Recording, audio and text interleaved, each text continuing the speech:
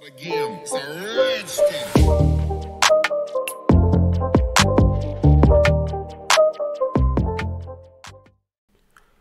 is going on guys? Welcome back to the Algorithms and Data Structures tutorial series. In today's episode, we're going to learn about the big O notation. So in the last video, we talked about runtime complexity, asymptotic growth, and today we're going to learn about a way to write down uh, what asymptotic growth a certain runtime complexity or function has. So we're going to look at different examples. It's going to be quite a mathematical episode. We're going to uh, do some calculations and equations here uh, to figure out how to use the big O notation properly. So let us get right into it.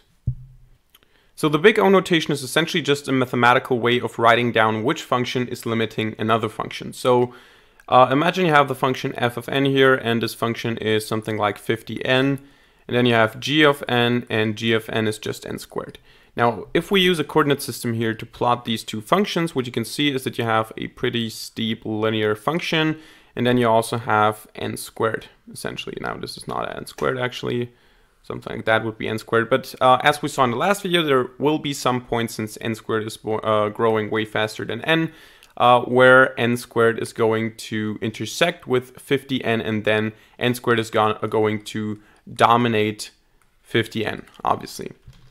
Now, what we say mathematically here is that there is a point from which on n squared is going to limit 50n, which means that there is one starting index, let's call it big N or uppercase N, uh, and this starting index, for, from this starting index on, we can say that for each n that is larger than the starting index, we can say that n squared is going to be larger than 50n. Now for the big O notation, we can add something more. We can say that this is even true if we have, or we can use the big O notation even if we have a constant. So essentially, if I have any constant here, uh, and this constant could be a trillion, a million, whatever you want, just some constant of the real numbers maybe uh, as a limitation, multiplied by that n squared and then choosing a starting index. And if that is always true if this inequation here inequality here is always true then we can say that 50n is in big O of n squared. This is how you write that down.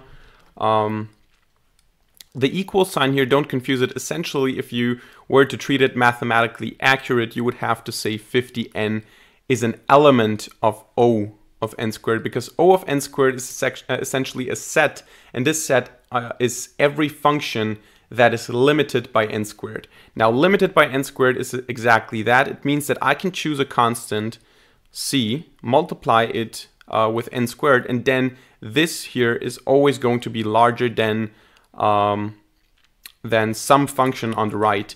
And this is true for infinitely many n starting at a certain uppercase n as a, at a certain starting index, this left thing here is always going to be larger than the right one. So in this case, it's pretty obvious that n squared is going to be, or 50n is going to be in um, big O of n squared, but I can also do this for something like 17 n squared plus, uh, I don't know, 5n plus 30, for example. This is also in big O of n squared. Even though n squared is actually less than 17 n squared, uh, this is still true because if I uh, solve this, or actually not this one, but if I say uh, 17 n squared plus 5n plus 30 is always going to be less than n squared times any constant, uh, and this is true for infinitely many n's, I can definitely, if I solve this inequation here, inequality here, I can definitely find a c and a starting index n for which this is true. And this means that essentially uh, the left term here, the left function here is in big O of n squared. This is what this big O actually means. Now, this is not the case, for example, if I take something like, um, I don't know, uh, 30 or actually not just, let, let's say n to the power of 3.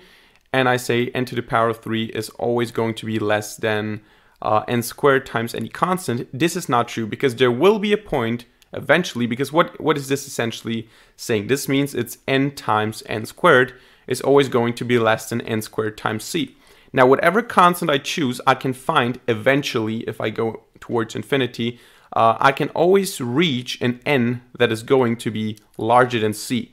And as soon as I reach that n, it's no longer going to be true. So the inequality is not going to always be true or to be true for infinitely many values. I cannot find a C in a starting index uppercase n for which this inequality is going to be always true. Therefore, n squared is not in big O of n to the power, uh, oh, this is true, sorry, n to the power of 3, so n cubed is not in big O of n squared. This is not the case. In the same way, n squared, of course, is not in big O of n, and so on. So whenever you can find a constant and a starting index for which this type of inequality is always going to be true, then you can say that the left function is in big O of the right function. So it's limited, it's the upper boundary, it's limited by that function. Now we can also go ahead and do this the other way around with something called the omega notation. So it's essentially the same thing as the big O notation, just the other way around. So you're trying to find a function uh, that is bounded below by another function. So essentially just the same thing the other way around. You have f of n and this is some some function here, I don't know. Then you have g of n, another function. And you know, we, we talked about if f of n is always less than g of n times a certain constant for uh, every index n that is larger than a starting index n, and this uh, n is going to be larger than zero, and we can also say c is larger than zero. Um, what you can say is that essentially then if this is the case, f of n is in big O of g of n. And now you can swap this around and you can say, okay, if f of n is always larger than g of n times a constant for all n larger than some starting index with uh, c and the starting index being larger than zero, greater than zero. Um, if this is the case, you can say that f of n is bounded below by g of n and this essentially means that f of n is in omega. Okay, this is not a very beautiful omega sign here. In omega of g of n. This is essentially just the other way around, um, which essentially means if you can find any c, and the c can be something like 0, 0, 0, 0, 0, 0, 0, 1, just not negative and not 0. Uh, if you can find a number that you, a constant that you multiply with the function um, or the term, so, so this expression here on the right, um, and you can find a starting index uppercase n and for all n's larger than that index for all n's from a certain index onwards to infinity. This inequality here is true, then you can say it's an omega of g of n. It's the same thing as the big O notation, just the other way around.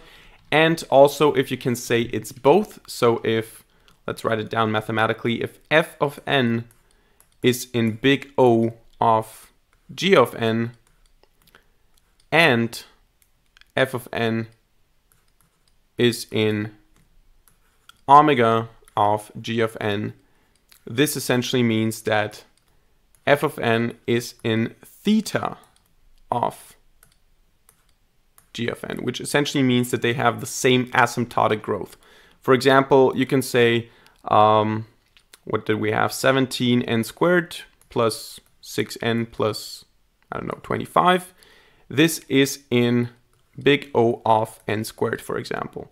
At the same time, 17 uh, n squared plus 6n plus 25 is in omega of n squared because you can find a constant so that n squared is always less than this, uh, this left piece of mathematical expressions here.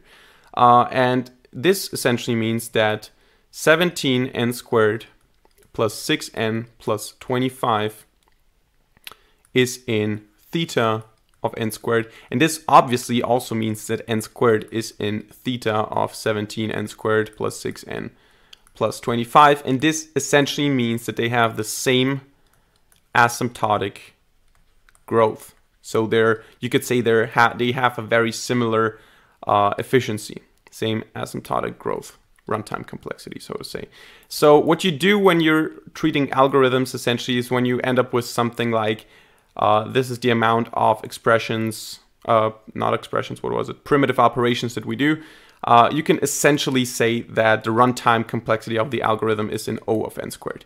You're not going to say it's in O of 17n squared or something. When you analyze an algorithm and the result is something like the primitive operations, worst case, are something like 7 steps for sure, then 12n, and then, I don't know, 24n squared and 3 n to the power of 3 because you somehow calculated that, you analyzed that, it essentially just boils down to the algorithm has a runtime complexity of big O of n to the power of 3 the cubic runtime complexity. That's essentially it. That's how you write it. It's also uh, the same. You can also say it's in theta of n to the power of 3 because this is this doesn't give us a lot of information because I can also say of course it's in big O of n to the power of 20 wouldn't be wrong but it's not necessarily what I'm looking for so maybe the theta notation here is more useful you just say it's in theta n to the power of 3 which means that that is the asymptotic growth of that uh, runtime complexity.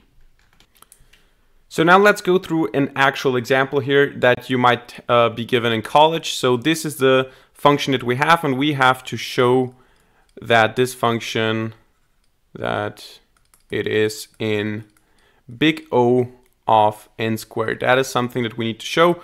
This is our task right now, so let's go through it mathematically correct. What you need to do is you need to show that this thing here is less than c times n squared. c can be any number and uh, this is true for all n uh, n's bigger than or larger than some uh, uppercase n and uh, we need to find this uppercase n here and we need to find the c in order to prove that this is the case. So what you can do here is you can just go ahead and divide both sides by n squared. So you have 32 plus 17 divided by n plus 5 divided by n squared and then you have has to be less than C.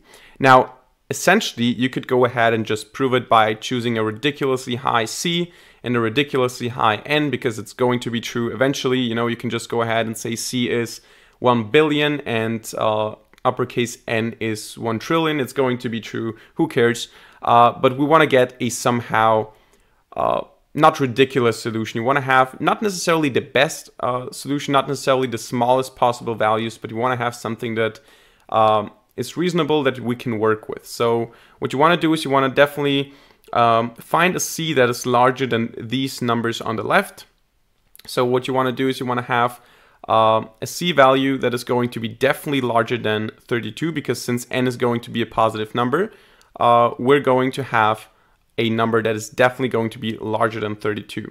So what you can do, for example, is you can just say, okay, let's say C is 34. Uh, what I need to do then is I need to find uh, a capital uh, or a uppercase n here, uh, capital N here, that is going to make sure that all the other n's that are bigger, larger than this n, are going to result in these two fractions here being less than 1. Because if these two are less than 1, I have 32 plus 1 plus 1, and this has to be less than 34 then. So I can see that 17 divided by n is going to be less than 1 when n is larger than uh, 17. And for this one, it's the same because if I have n is larger than 17, I'm going to have 17 squared, and 17 squared is definitely going to make this fraction here less than uh, 1. So I essentially can say, okay, if n is larger or equal to 18, not 11, sorry, 18, and uh, c is 34, that is the proof that this left expression here is in big O of n squared. Because I can just go ahead and say, okay, 32n squared plus 17n plus 5 is always going to be less than, uh, not c, sorry, we already calculated C, 34 times n squared for all n's that are larger or equal to 18. And this is obviously the case because um, we showed that it's the case by eliminating, or not eliminating, but looking at these fractions here. And the moment that I pass the number 18 for the index, I'm definitely going to have a larger uh, product on the right side or a larger number on the right side here. So this is definitely proven and this is how you can prove mathematically that this left expression here is in big O of n squared. So that's it for today's video about big O notation. I hope you enjoyed and I hope you learned something. If so, let me know by hitting the like button, leaving some comments in the comment section down below, and subscribing to this channel if you want to see more future videos for free. In the next video, we're going to talk about the different runtime complexities, at least at the uh, about the most important ones, like log n, n log n, um, so logarithmic, pseudo-linear, linear, uh, cubic, quadratic, exponential, factorial, and so on. We're going to compare these asymptotically, visually, mathematically, and that's what we're going to do in the next video.